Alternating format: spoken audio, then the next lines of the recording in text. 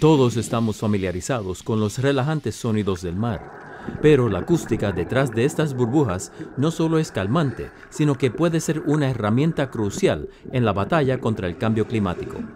Es una posibilidad que está siendo probada en lo que se describe como el primer experimento en su clase. Un grupo de científicos monitorea las fugas controladas de dióxido de carbono en el Mar del Norte, con la esperanza de que un día el gas de efecto invernadero pueda ser capturado y enterrado bajo el agua durante miles de años. La idea es que el CO2 se almacene en unos depósitos de petróleo y gas submarinos agotados.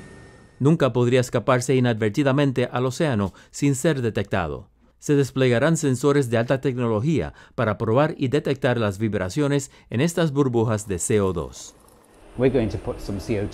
Vamos a poner un poco de CO2 en el lecho marino, vamos a esparcirlo y luego vamos a tirar cada juguete que tenemos en la caja, vehículos remotos, robots submarinos, tecnologías de detección en el sitio. Vamos a utilizar química, acústica, todo lo que es el estado actual de la técnica.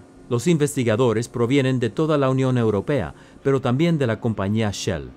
El gigante de la energía es uno de los principales contribuyentes a las emisiones globales de CO2.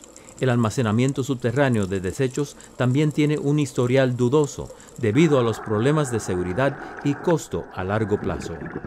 Miguel Ángel Rivera, Voz de América.